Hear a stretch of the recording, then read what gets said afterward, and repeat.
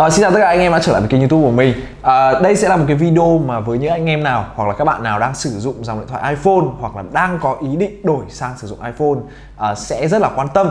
Vào dạng sáng ngày hôm nay là ngày ngày em? 21 tháng 9 thì Apple đã chính thức cho ra mắt và giới thiệu ở phiên bản iOS 15 chính thức trên thiết bị điện thoại iPhone của mình và nó sẽ được update từ phiên bản iPhone 6s đổ lên cho tới là iPhone mới nhất là iPhone 13 Pro Max à, và mình đã nâng cấp những cái chiếc điện thoại của mình lên bao gồm có cả chiếc iPhone 8 và chiếc iPhone 11 ở đây.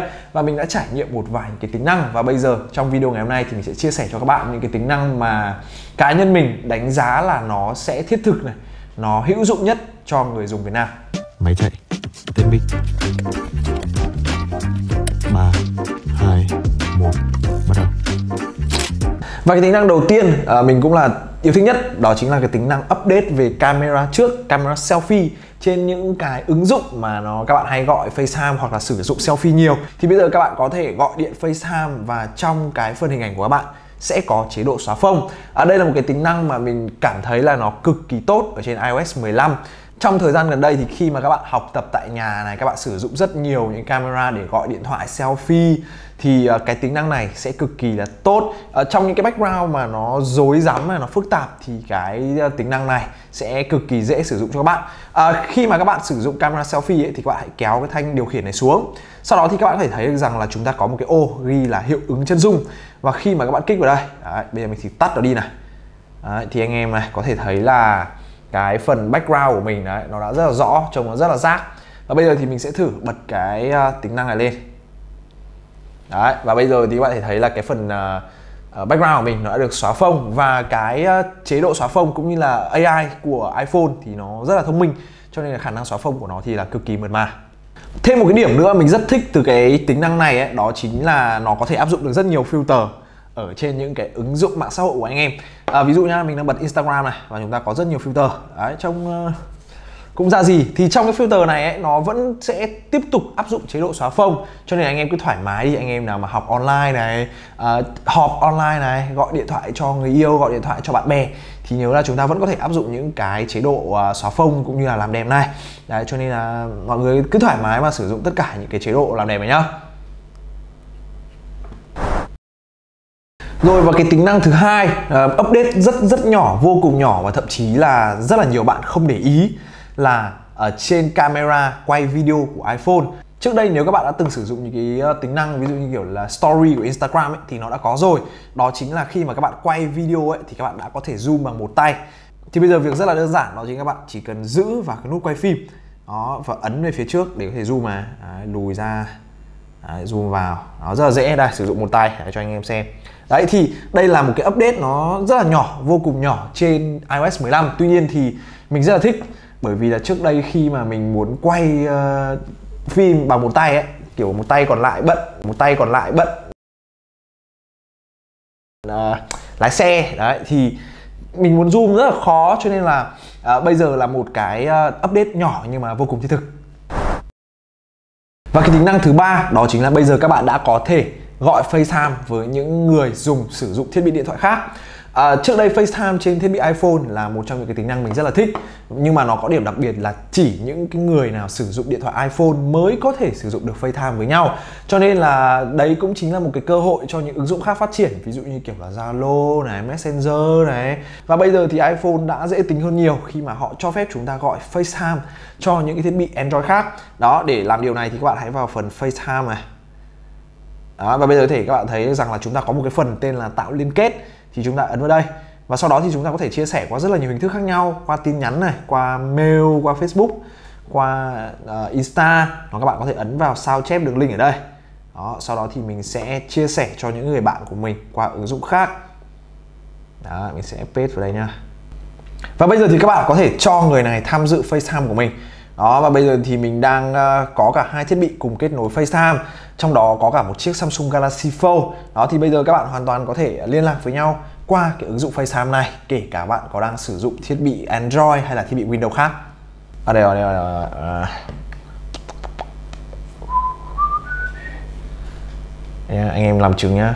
Anh làm chứng chưa? Thấy không?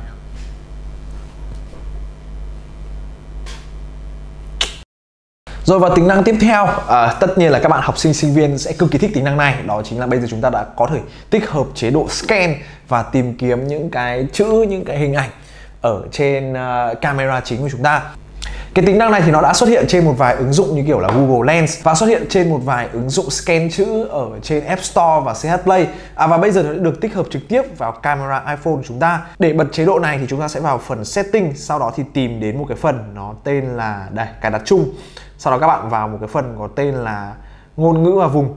Đó thì bây giờ chúng ta sẽ có phần ghi là văn bản trực tiếp đó, bật nó lên. Và sau đó thì quay trở lại phần camera. Và bây giờ thì uh, các bạn hoàn toàn có thể scan một cái chữ nhá. Scan một cái chữ của chúng ta. Đó. Khi mà nó hiện một cái box thì các bạn có thể ấn vào đây. Đó, ấn vào đây. Đấy, ấn vào cái ô bên cạnh này. Đó thì bây giờ chúng ta đã có thể copy cũng như là scan được những cái hình ảnh trực tiếp từ camera chính. Thì các bạn có thể chọn đó, chọn một cái text ở đây. Ví dụ như kiểu là chi nhánh trên toàn quốc này. Mình ấn nút sao chép hoặc các bạn có thể tra cứu dịch đó thì mình sẽ ấn sao chép và các bạn có thể copy bất kỳ cái thông tin này vào đâu đó thì mình sẽ nhắn cho mobifone này đó, để xem và copy như nào. Đó thì cái text của chúng ta đã có thể ngay lập tức copy từ một cái tờ báo như thế này để nhắn tin vào ở trên thiết bị điện thoại của chúng ta thì đây sẽ là một cái ứng dụng à, cực kỳ cần thiết. Các bạn có thể sử dụng vào tác vụ học tập hoặc là nhắn tin hoặc là sao chép văn bản sao chép thông tin để có thể gửi cho bạn bè thì uh, đây là tùy vào khả năng sử dụng của bạn thôi. Uh, có một cái lưu ý nhỏ nhỏ đó chính là nếu mà các bạn sử dụng tiếng anh thì nó sẽ rất là chuẩn. Trong khi đó tiếng việt thì có một vài những cái cụm từ nó sẽ bị sai. Đây ví dụ như kiểu là chi nhánh trên toàn quốc thì mình thiếu mất dấu của chữ toàn và chữ quốc thì các bạn có thể lưu ý là mình có thể sửa lại để cho có một cái dòng text hoàn hảo. Bởi vì những cái tính năng được Apple phát triển trên ngôn ngữ của tiếng Việt thì nó rất khó để chính xác 100% thậm chí là anh em mình người Việt thậm chí còn sai chính tả mà. À, và cái tính năng cuối cùng ở trên iOS 15 thì mình nghĩ là không biết là các bạn có dùng nhiều hay không nhưng cá nhân mình thì mình dùng nốt rất là nhiều. Ờ, cái ghi chú ở trên iOS ấy, ở trên iPhone thì khi mà bây giờ chúng ta có thể vào phần ghi chú này các bạn hãy thấy rằng là trong cái giao diện chính của phần ghi chú chúng ta có thêm một cái phần ghi là cái phần thẻ. Đó thì cái này là rất là dễ để các bạn có thể phân loại những cái ghi chú của mình. À, ví dụ mình sẽ vào phần ghi chú tổng của mình này. Đấy thì bây giờ mình có rất là nhiều những cái nốt khác nhau. Thì bây giờ ví dụ đi mình sẽ cho nó một cái ghi chú ở cuối. Chẳng hạn ví dụ như đây à, mình sẽ ghi chú là uh, content nhá. Ok xong này. Đó mình sẽ ghi chú đây là content rồi, và bên cạnh thì mình có thể ghi chú những cái nội dung khác. Đó và khi mà các bạn uh, lưu nó lại thành những cái ghi chú có hashtag khác nhau này Thì nó sẽ gộp lại tất cả những cái ghi chú của chúng ta vào chung một chủ đề mà các bạn đã lưu với phần hashtag thì uh, quay trở lại cái màn hình chính thì các bạn có thể thấy được rằng là cái phần ghi chú của mình đã được chia ra một vài những cái hashtag khác nhau. Ví dụ như ở content này homestay hay là new. Và khi các bạn chọn một cái phần hashtag này thì nó sẽ ra chính cái bài post mà các bạn đã gắn hashtag cho nó. Thì đây là một trong những cách để các bạn có thể dễ dàng phân loại cũng như là tìm kiếm những cái ghi chú của mình. À, với cái tính năng này thì bạn nào mà sử dụng nhiều ghi chú này có nhiều những cái điều cần ghi lại này có nhiều những cái nhật ký thì đây sẽ là một cái điều cực kỳ thiết thực và đó là những cái tính năng mà mình cảm thấy là thiết thực nhất trên phiên bản iOS 15 và ít nhất là với cá nhân mình. Còn trên phiên bản iOS 15 này thì chúng ta sẽ có thêm những cái tính năng ẩn hoặc là một vài những cái thay đổi nhỏ nhỏ thì mình sẽ giúp các bạn update trong những cái video tiếp theo. À, còn với những anh em, anh em có ý kiến như thế nào về à, những cái tính năng này cũng như là anh em có những cái tính năng nào mà mình cảm thấy thiết thực là hay sử dụng thì có thể comment ở phía bên dưới cho mình cùng biết với nhá. Và trong video tới thì mình à, sẽ gửi đến các bạn đó chính là một vài những cái lưu ý cũng như là một vài những cái lỗi ở trên phiên bản iOS 15 và đặc biệt là với những chiếc điện thoại ở phiên bản iPhone X đổ về trước à, ví dụ như iPhone X, iPhone 8, iPhone 7, iPhone 6s thì đây là những chiếc à, máy mà nó không được hưởng nhiều những cái lợi ích từ iOS 15 à, và cuối cùng thì hãy đừng quên ấn nút subscribe kênh youtube của mình nhé Xin chào và hẹn gặp lại. Hey, xin chào các bạn đã đến với kênh youtube của Chiến Phương.